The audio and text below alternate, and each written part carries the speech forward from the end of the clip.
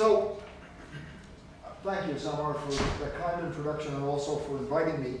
Uh, it's always a pleasure to be back in the UK, where I spent many happy years as a student, more years ago than I care to remember. Uh, I'm particularly glad to be back in Liverpool, which is one of my favorite cities. I've loved to watch it grow and change over the years, so it's, it's good to be reacquainted. Samar mentioned that I'm no longer in Boston. That's true. I'm now living and working in Cornell Medical School in New York City. But the reason for that is that my wife, Laurie Glimcher, who is possibly the world's best known immunologist, is the dean of Cornell Medical School. Moved from Harvard to take that job five years ago. And when your wife says to you, you're going to join the faculty here, right? you understand what the godfather, Don Vito Corleone, meant by an offer you can't refuse. so, I want to talk about Alzheimer's disease. Uh, I think there are very few things that intelligent people fear more. I call it the soul eater because it robs you of who you are, leaving the body essentially intact. And a more hideous fate for people who live by their wits is hard to imagine. Let me start by explaining the dimensions of this problem. I always start my lectures by trying to tell people why I do what I do. Of course, it's true that no one is an island, particularly in science, and virtually all of the work that I've done of consequence has been done in collaboration with my Brandeis colleague Dagmar Ringe, about whom more in a while, and these people did the bulk of the experiments that I'm going to be talking about in collaboration with a team of people from Columbia University who've been wonderful collaborators. This is my grandson. He was one year old when this picture was taken four years ago.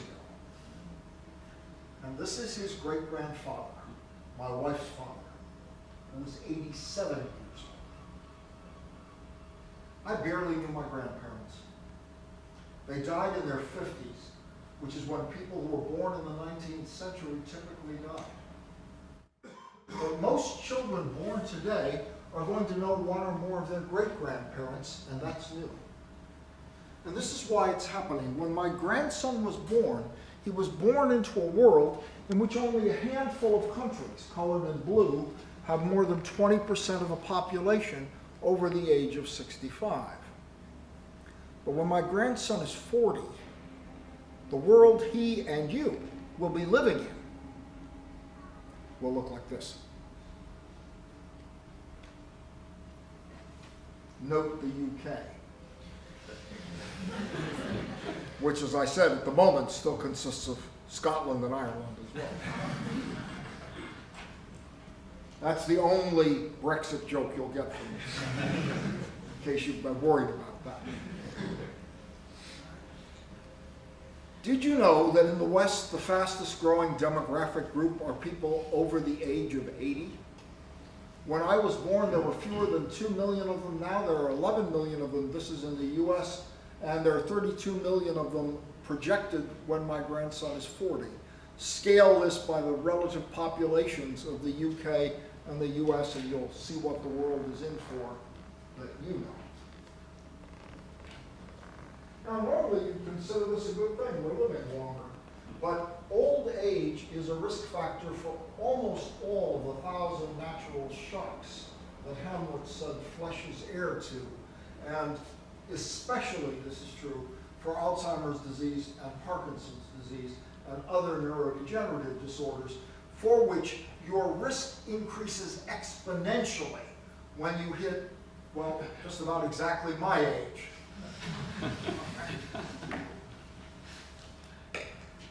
and that is a colossal problem. Because as the world's population ages rapidly, so too the number of people with these disorders increases extremely rapidly. What do I mean by that? What I mean is that if dementia were a country, right now, dementia would have more people than Canada. All right? And by the time my grandson is 40, dementia worldwide will be more people than the population of Russia or Japan or Mexico. It would be the ninth most populous country in the globe. That's an unsustainable future in terms of healthcare systems everywhere. And it's even worse than you think because dementia, Parkinson's disease, ALS, and the other neurodegenerative diseases are the only leading causes of death for which there is not only no treatment whatsoever, but the only ones that have actually been increasing in terms of their mortality, the mortality rate over the last 20 years. Even cancer been dropping like a stone compared to these diseases. Right now, in the West, neurodegenerative diseases are either the sixth or seventh leading cause of death, depending on how you count things. And within 30 years, they're going to be third. As I said, no treatment whatsoever. Okay, so now you know why I do what I do. We've got a very limited amount of time to solve this problem, and it needs as many people as possible working on it. I want to focus on one neurodegenerative disease. I'll actually talk about Parkinson's a little at the end, but I'm going to focus on Alzheimer's disease. It is the center ring in the big tent circus of neurodegeneration, by far the most prevalent neurodegenerative disease. More than 100 years ago, a young German neurologist, Alois Alzheimer, was brought by her husband, a patient named August Deter, who had begun to develop signs of severe dementia. This was particularly interesting to Alzheimer because August Deter, when he first saw her and when this picture of her was taken, was 51 years old. Alzheimer's disease is a disease of aging, but it is not exclusively a disease of the aged. In the UK right now, there are about 800,000 people with Alzheimer's disease, but there are 50,000 of them under the age of 65. Most of them have the disease early onset because, like August Deter, they have mutations in one or more of specific genes that guarantee you will get Alzheimer's disease, and these genes are always mutated in an autosomal dominant fashion. August Dieter had a mutation in a gene called presenilin. Uh, we now know this because her DNA was sequenced, it was actually extracted from Alzheimer's notebooks that had slices of her brain tissue after her death, and sequenced by a team in Germany. We know the mutation that led to the disease that killed her, and Alzheimer herself noted that the disease ran in her family. But she was the first Alzheimer's patient by name. And when she died four years after this picture was taken, because hers was a very aggressive form of the disease, that Alzheimer found in looking at her brain two things that shouldn't have been there. One was this dense deposit outside the dying neurons that he called senile plaques, and which we now call amyloid plaques, and that contain a peptide called A beta. And inside the dying neurons, he saw also aggregates of proteins, which he called neurofibrillary tangles because they differed in shape and characteristic from the plaques. We now know that the plaques are made up of a peptide that is carved out of a much larger protein. The larger protein is APP, the Alzheimer's precursor protein. Peptide is called the A-beta peptide and is typically 42 residues in length.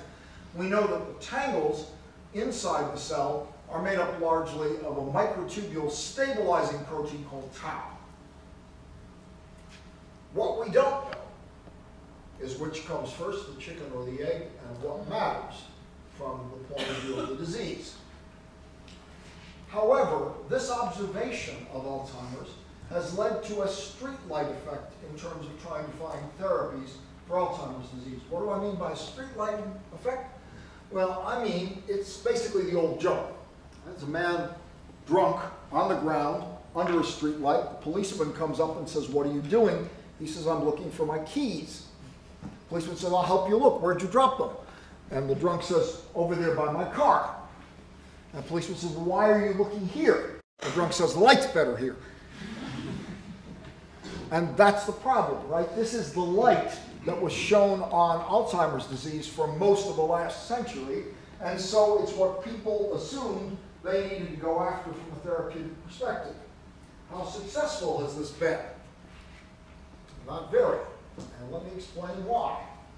First of all, we now know that although the plaques are fibrillar and make up, are made up largely of a cross beta structure formed from the misfolded protein, peptide in this case, A beta peptide, we also know that a large number of other structures are formed, and you've heard about some of those in earlier talks at this meeting. And we don't know which of these is the toxic species. Most people think this is probably not toxic and these are, but believe it or not, that's not been established. Not really been established for any neurodegenerative disease. It's all pretty much hypothetical at this point. It gets worse, all right?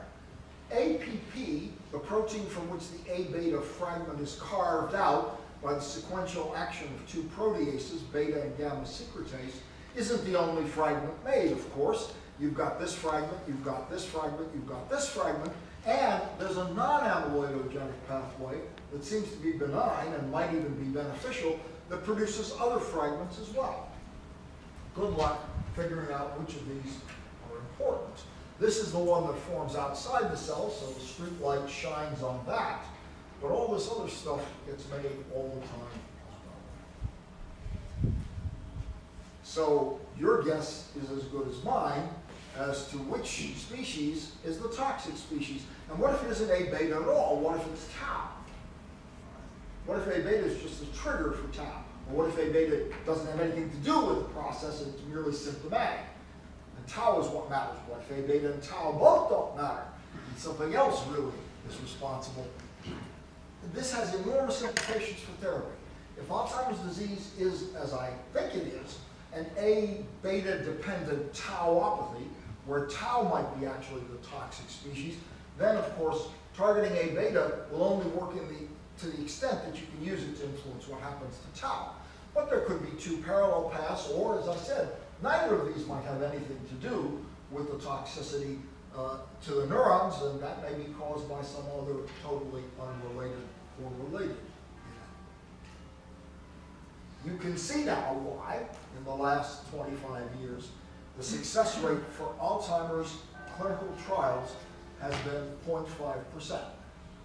And the one drug that has been approved in that time doesn't do much.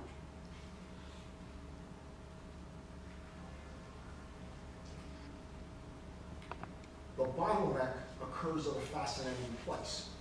If you look at things like drug resistance as a target, hepatitis virus as a target, there's a fairly steady drop-off in the compounds that make it through the various stages of clinical trials.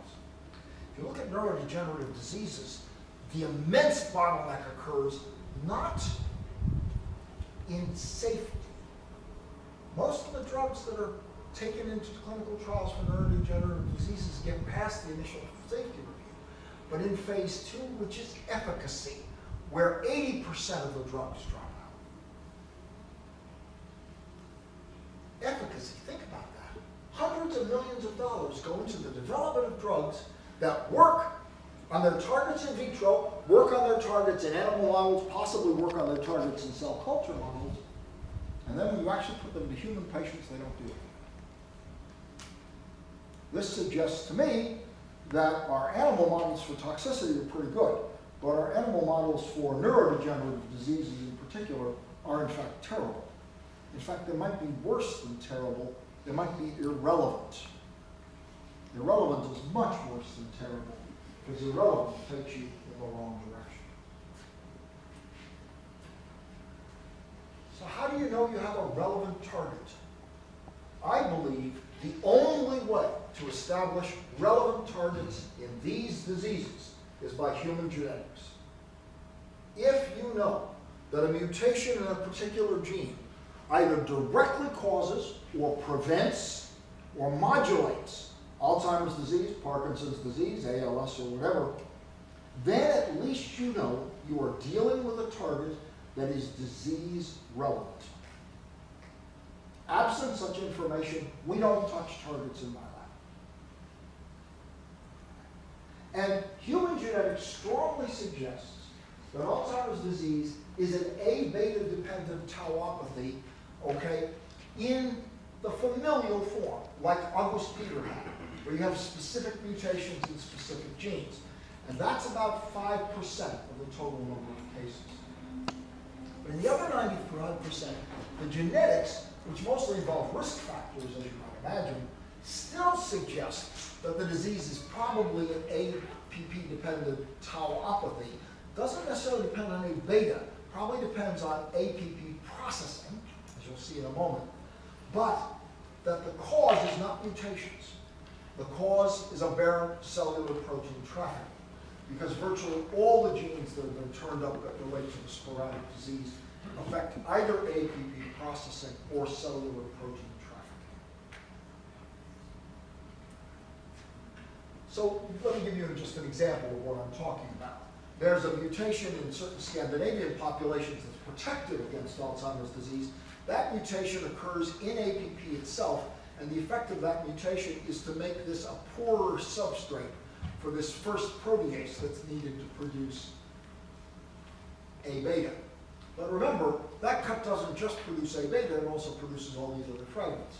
So I'm not saying, oh, this means A beta is important.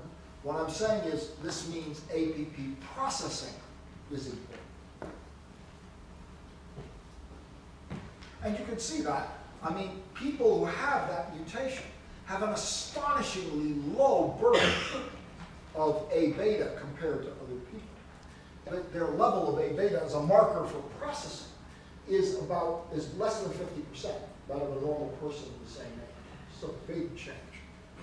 And compared to a person like August Deter, who had a mutation that causes Alzheimer's disease, we can see what their level of APP misprocessing is in comparison.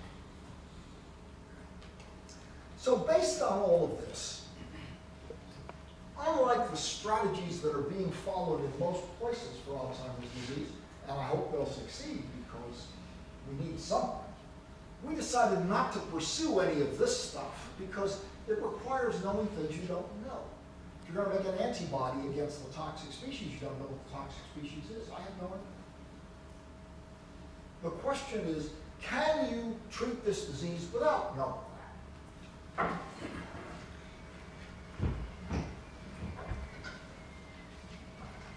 The dentate gyrus, as close to the entorhinal cortex as Manchester and Liverpool are to each other, the dentate gyrus is completely spared. And so what Scott did was to do transcription and proteome comparisons between these two regions of the same brain.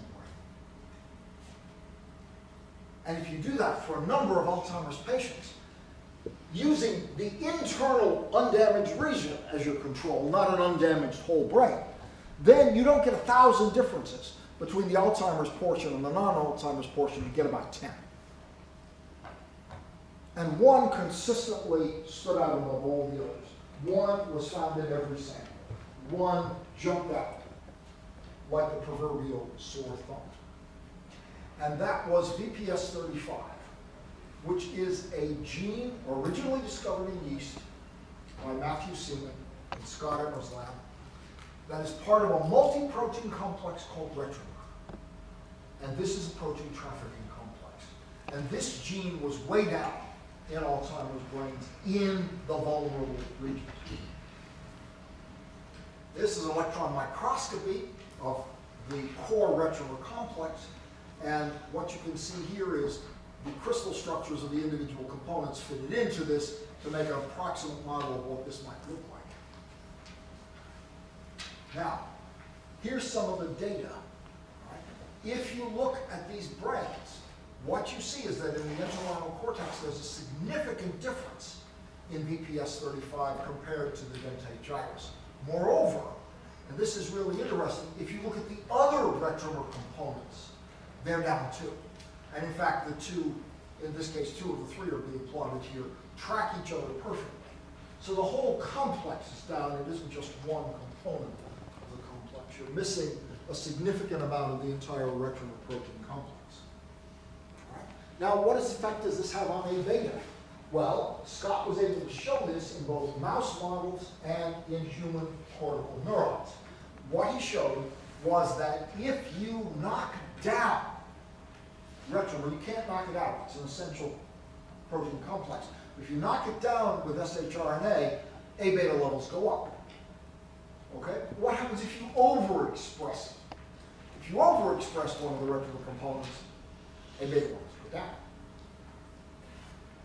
And in fact, if you knock it down in a mouse, rendering the mouse haploid insufficient in retromer, the mouse rapidly develops A beta and tau aggregates.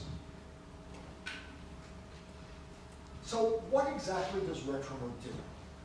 Well, protein trafficking is very complicated, but retromer is involved primarily in the endocytic protein trafficking pathway, where proteins that are part of the cell membrane, the plasma membrane, are endocytosed, taken into the late endosome, and eventually degraded in the lysosome. But if you have retromer around, there's a second fate.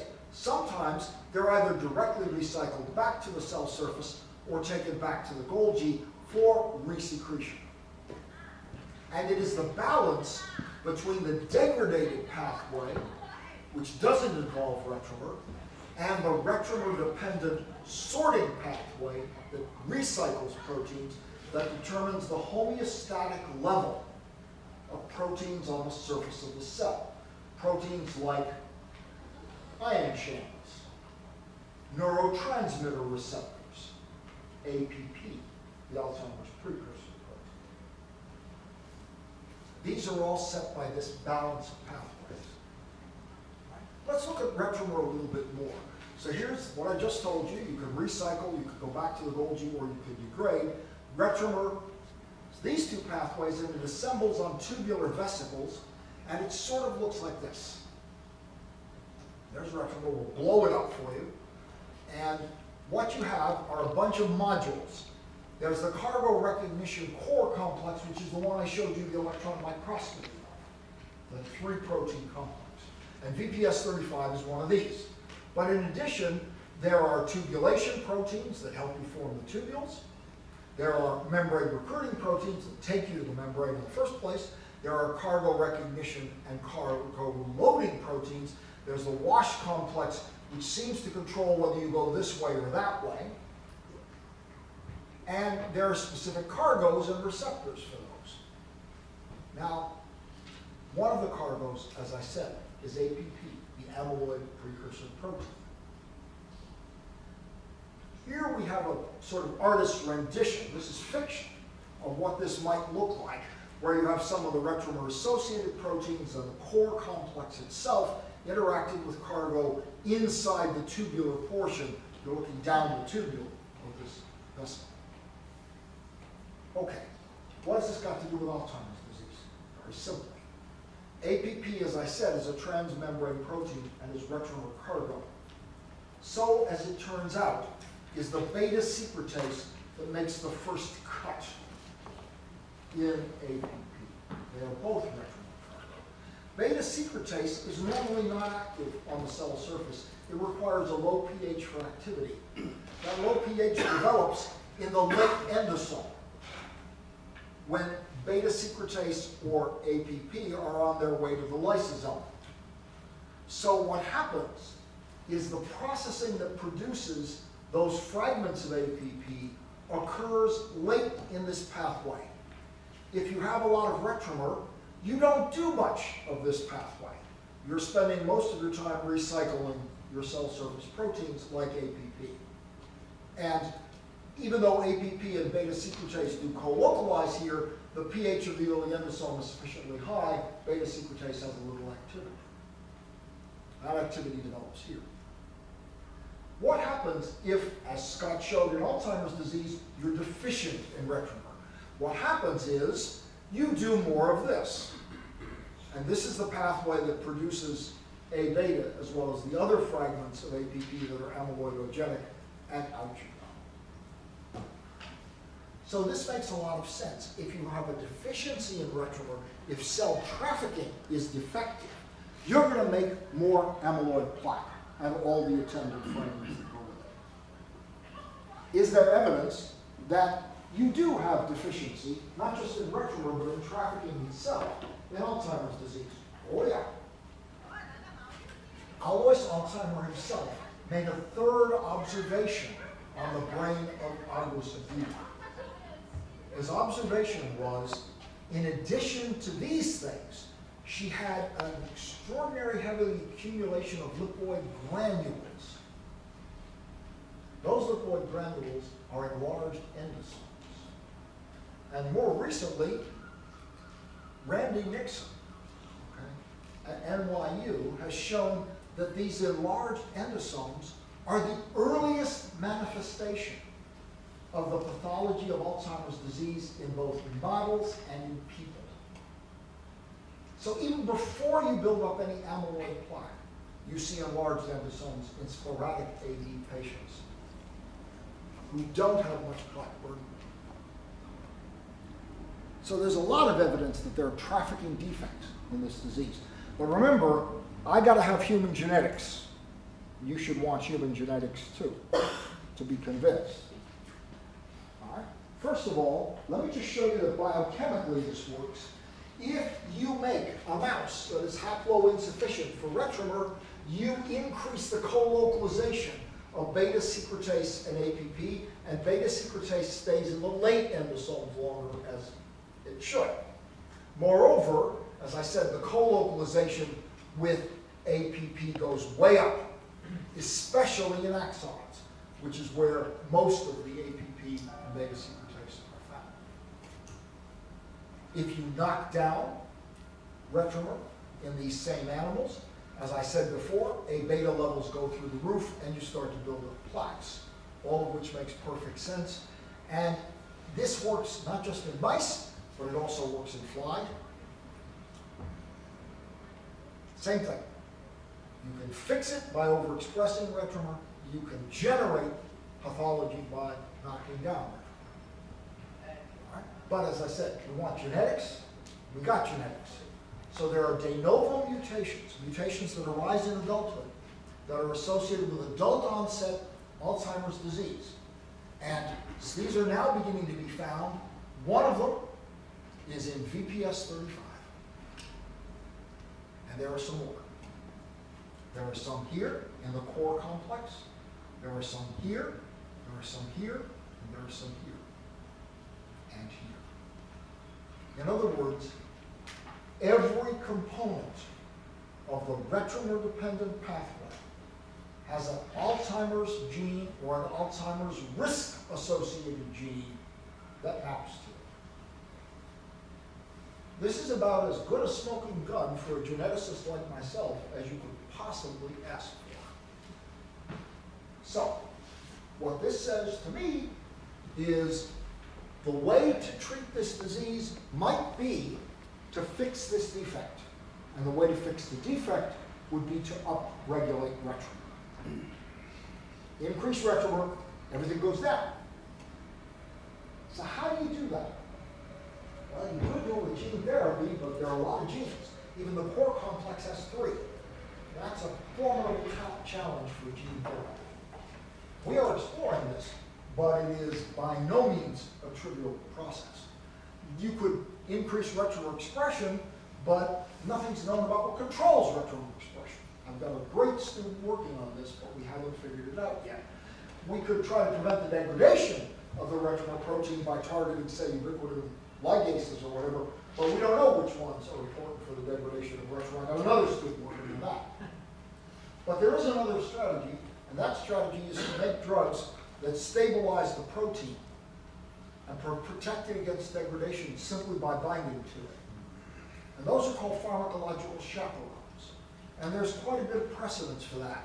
Uh, for example, in Fabry disease, Anderson Fabry disease, which is a autosomal recessive disorder, uh, there, is, there are mutations in a protein called alpha-galactosidase, and the alpha-galactosidase mutations all destabilize the protein.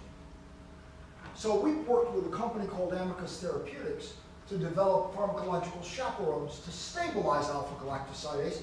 Here's our crystal structure of one of them bound to alpha-galactosidase.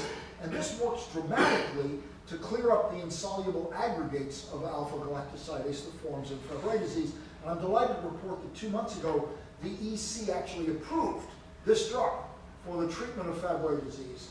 And US approval is expected to follow either late this year or early in 2017. So this works. You can stabilize a protein and correct a disorder by binding a small molecule to it. There's only one problem. Actually, there are a lot of problems. First, alpha-galactosidase is an enzyme. So you know it binds ligands. We've got an active site to target a weak binding ligand to as a stabilizer. None of the retro components is an enzyme. And even if we focus on the core complex, okay, where would you put a ligand? Would you put it here? Would you put it here? Would you put it here? Or would you put it here or here? And how do you know?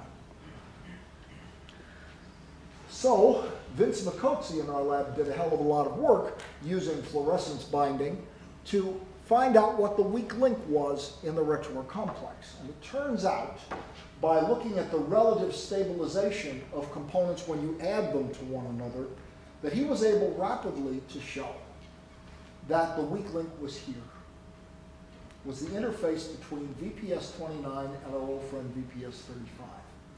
And uh, you can see that blown up here. It's this interface region. And that's the weakest part of the whole complex. And so the idea, now you've heard talks about drugs that disrupt protein-protein interactions, right? We've had a number of talks about that in this meeting. I don't want to do that. I want to stabilize the protein-protein interaction. So I don't want to go into the binding site and break it up. I want to find a cavity where the two proteins come together where I can link them one to another with non-covalent interactions. Uh, the problem for that is where the hell on the surface of this are the cavities that will actually bind the drug. Because if you look at the surface of a protein, or two proteins that are complex, it's like a Himalayan mountain range, and you have no real way of knowing which of the valleys is actually drug binding. However, all right, we do have individual crystal structures, and we do have crystal structures for the binary complexes. And in particular, we have a crystal structure of this complex where the weak link exists. So, okay, how do you find a binding site? Tom Blundell mentioned in his wonderful lecture that the earliest use of fragments in drug discovery, the invention, if you will, of that idea, dates back to Dagmar Ringe's classic work from 1993. And this is just a reminder from that paper about the, about her expression of the idea of taking fragments, looking at them in crystals, and then linking them.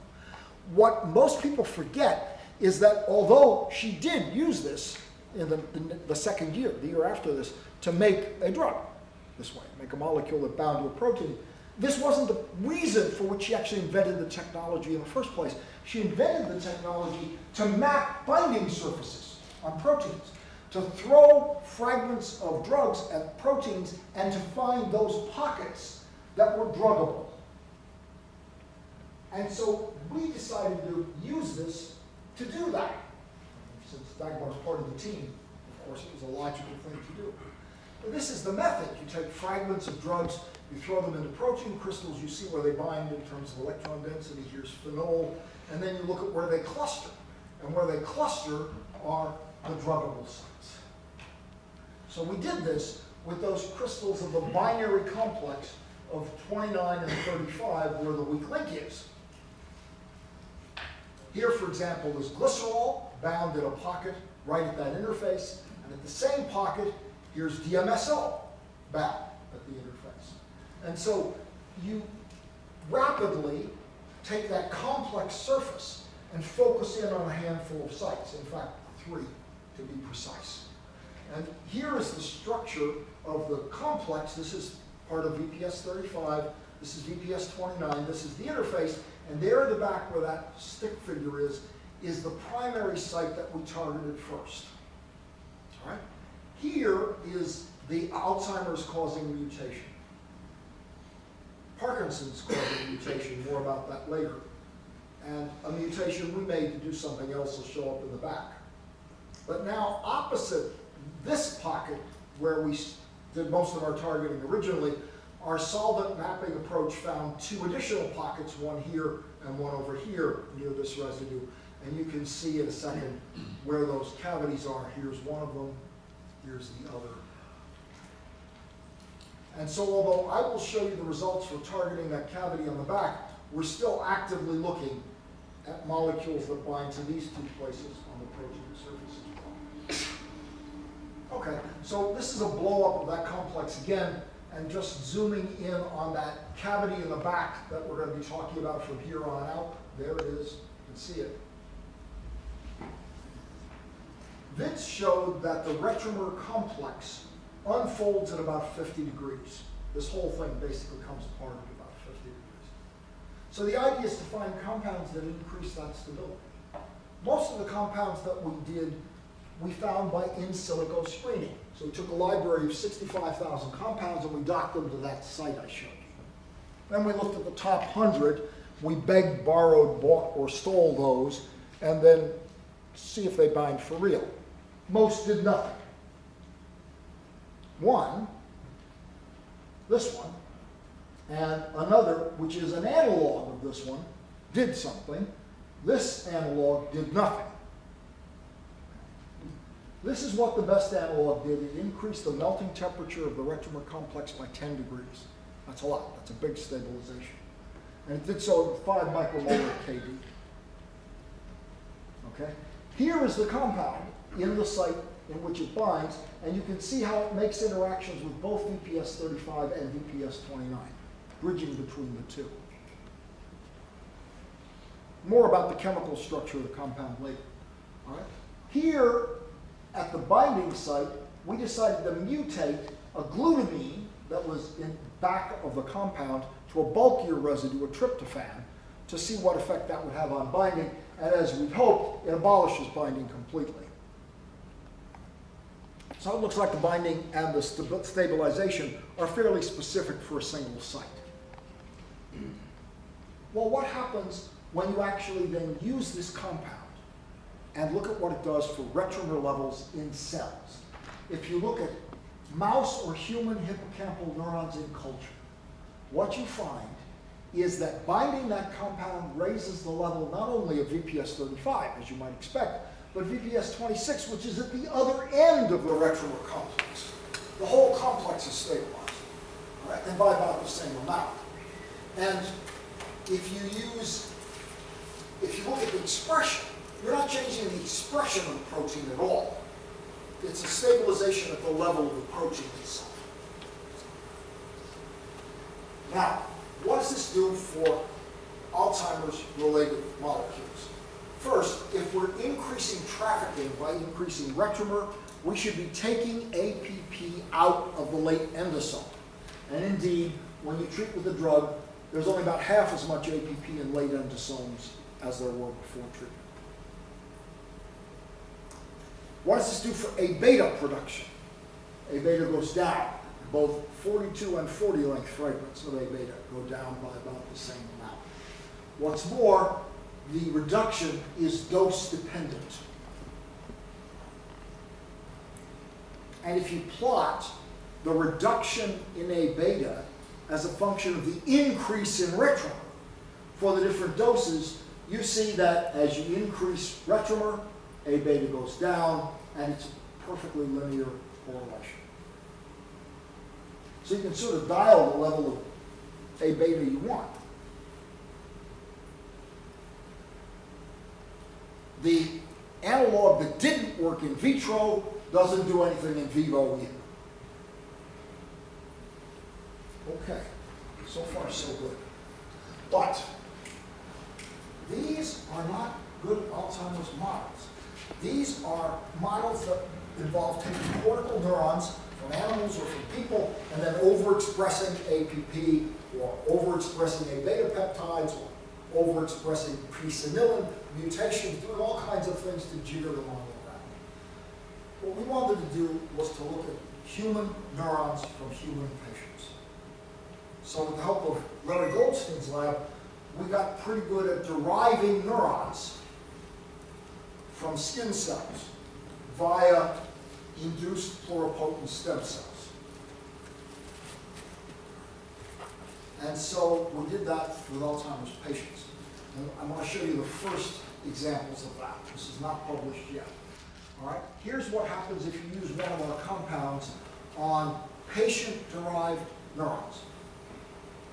What you find is that you get a, these neurons, by the way, they produce a lot of A beta and a lot of phospho-tau, and they have shorter lifetimes than neurons derived from normal controls.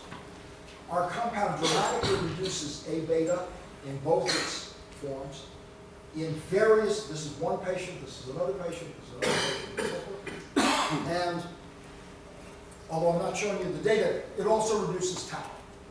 Concomitantly, aggregates of tau also go down by about the same amount. So it looks like, and these are sporadic patients, these are not genetic patients, patients with sporadic Alzheimer's disease. So it looks like there's a chance that this strategy of fixing the cellular defect could work for sporadic disease patients, and that's 95% of patients. Well, if you are in fact blocking this pathway, not blocking, sort of redirecting away from this pathway towards this pathway, this is the only thing that should go down, right? This should go down, this should go down, this should go down, and this should go up. That's exactly what happens. When you treat with the compound, these all go down. This goes up. So we are not only rerouting trafficking, we're rerouting it into the correct pathway, the non-amyloidogenic, non-toxic. And this, by the way, is exactly what you see when you look at that mutant that reduces the processing of APP, that protective Scandinavian mutant. It's also what you see when you use a chemical inhibitor of this protease. Same thing happens. You go down in these fragments and you go up in this fragment. So all of the data suggests that the approach is doing what we want it to do. That doesn't mean it's going to help patients. It's a far cry from that. But at least it looks like there's a reasonable chance that it's worth trying in patients. okay? And maybe not just Alzheimer's patients. Because if you look at the genetics again, there aren't only retro mutations that are associated with Alzheimer's disease. Different mutations in the same genes actually will give you familial Parkinson's. So they're different alleles, but the same genes. And you have two completely different, maybe not so, neurodegenerative diseases. So for this reason alone, we have no molecular basis to think that retromer is involved in Parkinson's disease except this one genetic result. So based purely on this, what we did was to try our compounds and retromer overexpression in models of Parkinson's disease. But the first thing we did was to do what Scott had done for Alzheimer's. Scott and I did it again for Parkinson's. Let's look at the vulnerable regions of the brain of Parkinson's patients. And when you do, retromer is down. Down, incidentally, by about the same amount that it's down in the vulnerable regions of Alzheimer's patients. By the way, I haven't told you why retromer levels are low in those regions, and I'm not going to because I have no idea. I have two really good people working on this problem, but so far we've not cracked it. We don't know what it is that is producing this low level of rectum retromer in the vulnerable regions of the brain. We have some ideas, but we haven't been able to prove it. But the consequences are dramatic. So it turns out that if you look at genetic forms of Parkinson's disease and look at the mutations that cause genetic Parkinson's disease, they all lower retromer levels in the vulnerable regions of the brain. Right? And they do it for all of the retromer proteins. They're all down. Okay. So now let's see if we can fix this. Here is a vector control. What we're looking at is damage to the neurons in a rat model of Parkinson's disease. And what you can see is that if you knock down retromer, the neurons become damaged. If you replace retromer with one of the Parkinson's mutation forms of retromer, the neurons become damaged. If you use one of the other genes that gives rise to Parkinson's disease, the neurons become damaged. But in all of these cases, you can restore neuronal health by treating the animals with the retromer stabilizing drug. And this is not some generic neuroprotective effect, because if you look at a different mutation not connected with protein trafficking that destroys neurons, we can't fix that by adding the drug. This is specific for the protein trafficking defects. So your next question should be, when's the clinical trial? And my answer will be, I have no idea because these are the two compounds we've got that work. They are thiophene thioureas. And thiophene thioureas, though pretty stable in vitro and stable enough in cell culture to use as tool compounds, are hideously, horribly, disgustingly unstable in vivo. The thiophene ring is more stable than we thought, but the thiourea arms rapidly open up and produce a host of nasty thiol species. There is no possibility that these compounds could ever be given to a human being. At the moment, we have been unable to find a modification of these compounds that has the two properties of being still potent and crossing the blood-brain barrier while being less toxic. We have not been able to optimize those properties. We're still trying. We're also looking at compounds that bind to those two other sites I showed you in the hope that we might be able to find lead compounds that do the same thing these molecules do, but that don't have the bad properties that we've got to deal with chemically. So we are still some distance away from being able to say that we have a compound that works in people. We are also trying other approaches to increase the level of retromer. We don't know if any of those would work. As soon as we have one that does work well in vivo, then a clinical trial is something we would very much like to do, but I think we'll do it for Parkinson's disease, not for Alzheimer's disease. See, an Alzheimer's clinical trial requires a thousand patients and we've got to follow them for five, six, seven years because Alzheimer's proceeds at varying rates, and what you're measuring is cognition. I don't even know what that means. I certainly don't know how to measure it reliably without looking at a thousand patients and following them for years. But Parkinson's disease affects movement. There are well-defined, extremely reliable ways of measuring people's ability to move. And there are well-defined, easily reliable ways to do clinical trials for Parkinson's disease. A clinical trial that would cost $600 million to do for Alzheimer's disease can be done for 100 million or less in Parkinson's disease. And it will take a third of the time and involve about a third of the patients, number of patients.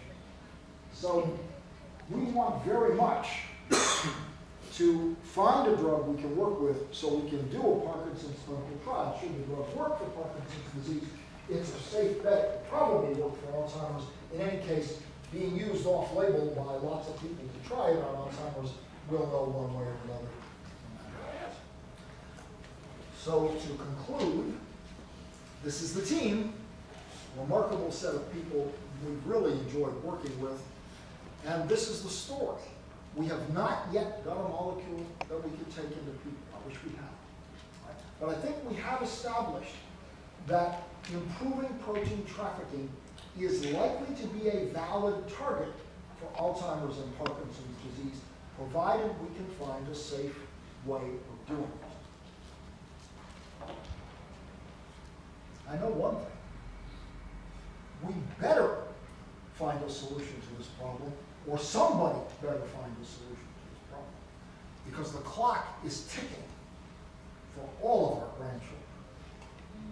Thank you very much.